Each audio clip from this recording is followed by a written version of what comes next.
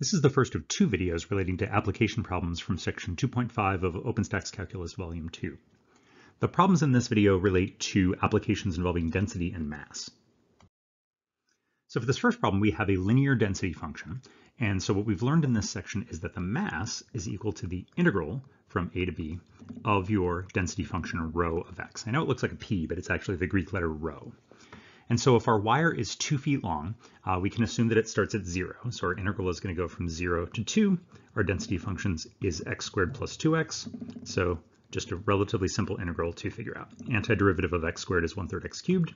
Antiderivative of 2x is x squared. We're going to plug in 2, we're going to plug in 0 and subtract. So we get 1 third times 2 cubed plus 2 squared minus 1 third times 0 cubed plus 0 squared this is all zero, and so this is going to work out to be 20 over 3. Our density was pounds per foot, so our mass is going to be in pounds. All right, pretty similar problem, a little bit more complicated integral, but same basic idea. So we've got a pencil that's four inches long. Here they explicitly tell us that it starts at x equals zero and goes to x equals four. And again, we have a density function. So again, our formula is that the mass is going to be the integral, in this case from zero to four, of our density function, 5 over x plus 2, and we're integrating that with respect to x. So this time we're going to need to do a substitution. So our substitution is going to be u equals x plus 2. The good news for us is that du will be the derivative of x plus 2, which is 1 dx. So we don't need to do anything in our integral to get the substitution to happen. While I'm at it, I'm going to go ahead and factor out that 5. Since 5 is a constant, I can pull it out of the integral. So I've got 5 times the integral of 1 divided by u, and dx and du are the same thing. Now what about my bounds? Well, my old bounds were x equals 0 and x equals 4. So when x equals 0, that means that u is going to be 0 plus 2, which is 2. So my new lower bound is the number 2. My old upper bound was x equals 4, and when x equals 4, u is going to be 4 plus 2, which is 6. So my new upper bound is 6. All right, so now I've got an integral that I can do. The antiderivative of 1 over u is the natural log of the absolute value of u. And we're going to plug in 6 and plug in 2 and subtract. So that's going to be 5 times the natural log of 6. Absolute value of 6 is just 6, so that didn't do anything, minus the natural log of 2. Now we could leave our answer like that. Typically when we have a natural log minus another natural log, we'll want to try to combine those together using our log rule, which tells us that this is going to be 5 times the natural log of 6 divided by 2 also known as 5 times the natural log of 3. Our units are ounces per inch, so this will be 5 times the natural log of 3 ounces. So now we've got problems that relate to radial density. So the idea here is that we've got some circular object, and the density at any given point is related to the distance that that object is from the uh, center of the object. So in this case, if my distance from the center is x, then at that point, the density is this function, uh, which in this case is e to the minus x squared. And again, what we learned in this section is for this kind of density problem, where you've got a density that only relates to the distance from the center, that our mass is given by the formula, the integral from zero, since we're starting at the center of the disk, to r, the radius of the disk, of 2 pi times x times rho of x. So that comes from the fact that the circumference of a circle is 2 pi r. And again, we worked through the derivation of that formula in the lecture. So let's plug in our formula. Our radius is 6, so this is an integral from 0 to 6. 2 pi times x, and rho of x is e to the minus x squared. And so that's our integral. Now, again, a little bit more complicated integral here, but we've got this function minus x squared inside our exponential term. So we might be thinking to do a substitution, u equals negative x squared.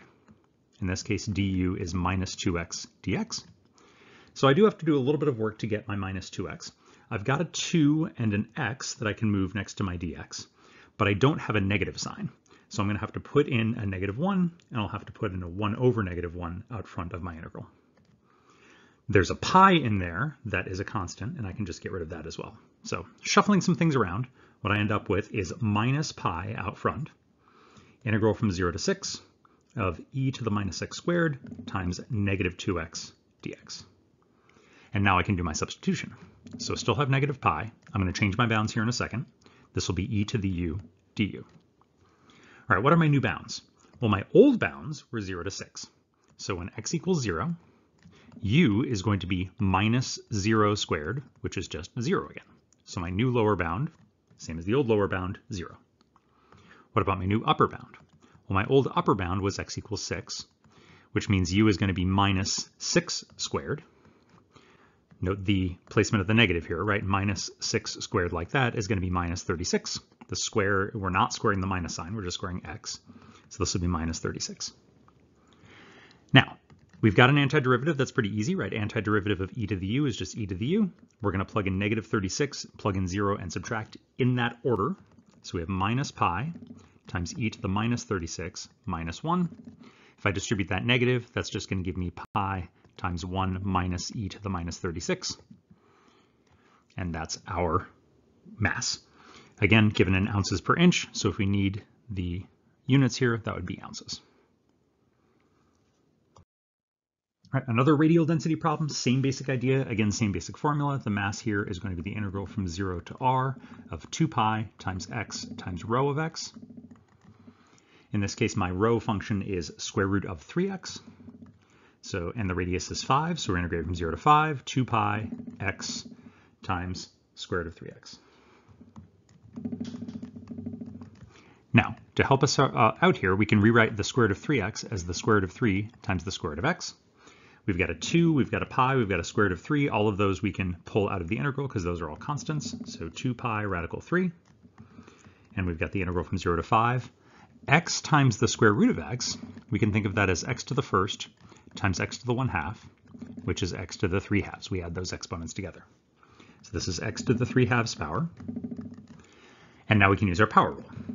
So we add 1 to that power to take the antiderivative. That gives us x to the 5 halves. 1 and a half plus 1 is 2 and a half.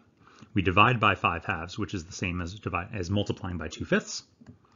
And we're going to plug in 5, plug in 0, and subtract. So we get 2 pi times the square root of 3 times 2 fifths times 5 to the 5 halves minus 2 fifths times 0 to the 5 halves. Now 0 to any power is 0, so that goes away. And we can simplify this fraction a little bit, right? We've got 2 fifths times 5 to the 5 halves.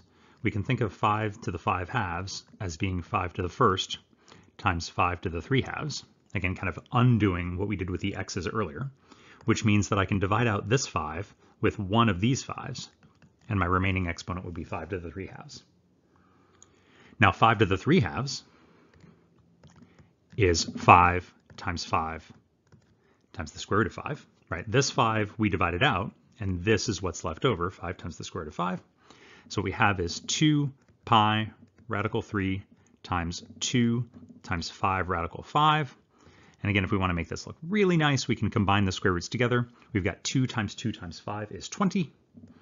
We've got a pi, and then square root of 3 times square root of 5 is square root of 15. Our units are grams per centimeter, so this mass is going to be in grams.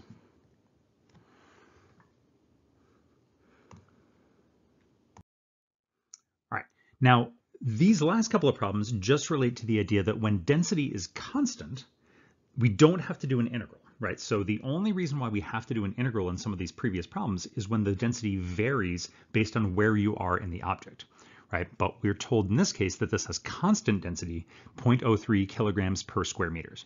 So all we need to do is find the area, and the mass is going to be that constant density rho multiplied by the area.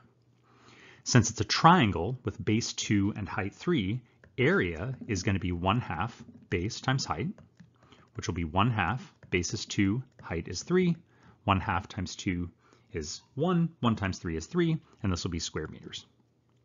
My density was 0.03 kilograms per square meter.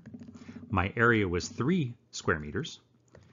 The uh, square meters go away, and I just get 0.03 times 3, which is 0.09 kilograms. No integral needed. This last one, same idea, except we're talking about a sphere, so a three-dimensional object with uh, density, and again, the density is per cubic kilometer, and so the mass here is going to be density times volume. In the previous one, we had a two-dimensional object, so it was density times area. In this case, three-dimensional, so density times volume. So what's the volume? Well, the volume of a sphere, right, we're told that this nebula is roughly spherical, volume of a sphere is 4 thirds pi r cubed. So that's 4 thirds times pi. Now, what's the radius? We're told that the radius is 9 trillion kilometers. Let's think about that. That's 1,000 with three zeros, 1 million with six zeros, 1 billion with nine zeros, 1 trillion with 12 zeros. So my radius is 9 times 10 to the 12th, and I'm cubing that. And then my density is 6.55 times 10 to the minus 10. And my volume, again, is 4 thirds pi times 9 times 10 to the 12th, and all of that is cubed. When we multiply all that out on our calculators, we end up with approximately 2 times 10 to the 30th, and we're given kilograms as our units, so that's the mass of this gigantic nebula. So again, we focused on the density and mass problems. In the next video in this section, we'll talk about the other applications uh, that we talked about in this section.